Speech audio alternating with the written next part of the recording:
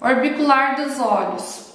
Eu recebo muitas perguntas em relação ao orbicular dos olhos. Onde aplicar? Quanto aplicar? Gente, o orbicular dos olhos é um músculo que a gente precisa entender a dinâmica e cada paciente, não diferente dos outros, e cada paciente tem uma dinâmica diferente nesse músculo, né? Então, eu quero fazer elevação da cauda da sobrancelha e o meu orbicular do olho está puxando a cauda da sobrancelha para baixo.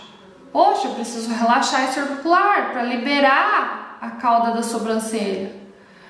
Antes nunca pensava-se nisso não subia-se os pontos do orbicular, fazia aqui para baixo, né? E agora, se eu for muito aqui embaixo, né? Será que eu posso aplicar? O paciente está com craquelado na pele, ele está com aquela ruguinha que ele quer tirar. Será que eu posso aplicar? Será que eu não vou fazer aquele sorriso travado assim, ó, só aparece a bochecha do paciente? Eu preciso pensar, né? Paciente que tem um volume de face, né, que tem um rosto mais cheinho, Aparece muito fácil aquele sorriso de prateleira se você errar a aplicação.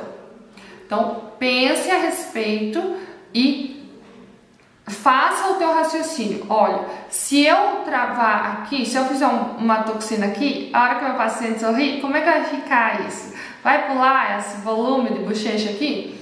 Pense antes de aplicar. Não saia fazendo, tá? Muitos lugares você não deve aplicar, tá? Não deve aplicar para aquele paciente. Pode ser que o próximo que sente na sua cadeira você deva aplicar. Então lembre-se, você tem a permissão, né, de aplicar onde você quiser, mas nem tudo é conveniente.